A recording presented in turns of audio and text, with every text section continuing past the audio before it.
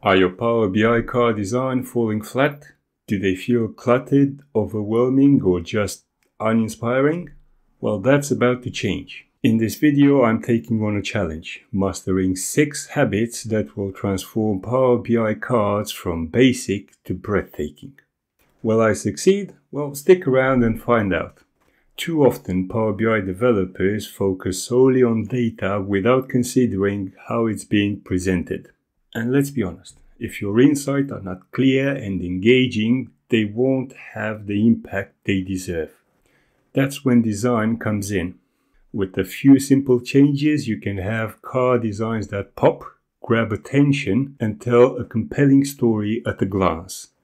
In this video, we'll break down the six essential habits that separate average card designs from truly stunning ones. By the end, you'll have the knowledge and inspiration to create Power BI card design that will wow your audience and create excitement every single time. So, are you ready to upgrade your Power BI skills? Let's dive in. Less is more. Avoid clutter. Focus on the metric. One of the biggest mistakes in Power BI card design is trying to cram too much information into a small space. Cards should present a single, clear insight without overwhelming the viewer.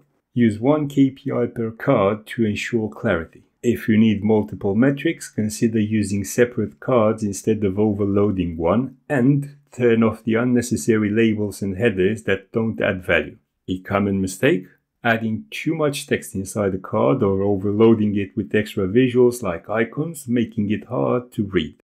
Use colors strategically.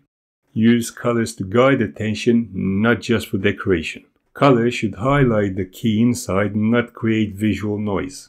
Use them to signal trends, changes, or alerts. Conditional formatting. Use it to change a card's color dynamically based on performance. For example, red for negative growth, green for positive. Stick to two or three colors for consistency, and here's where Power BI themes can help. And use high contrast text to ensure readability. Common mistake using too many bright or clashing colors that distract rather than enhance comprehension. Typography matters. Your font choice affects readability and users' perception. Fonts influence how professional or polished your card looks. Avoid the full Power BI font that feel outdated or too generic. Stick to modern, clean fonts like Segoe UI. Font hierarchy matters. Use bold fonts for emphasis, KPI values, and regular fonts for labels. Font size balance. Ensure the main number is large and readable, but the supporting text isn't too tiny. Common mistake? Using overly decorative fonts that look unprofessional or cramming too much text, making the card unreadable. Guide the viewer's eyes. Structure your card layout to direct attention effectively. A well designed card naturally draws the user's attention to the most important metric first. Increase font size of the main metric to make it the focal point. Use alignment, left, center, or right, based on readability, and apply shadows, borders, or subtle backgrounds to create contrast and separation. Common mistake having the card title or units take up too much space, pushing the KPI value into a smaller, harder to read area. Clean, clear, and balanced designs.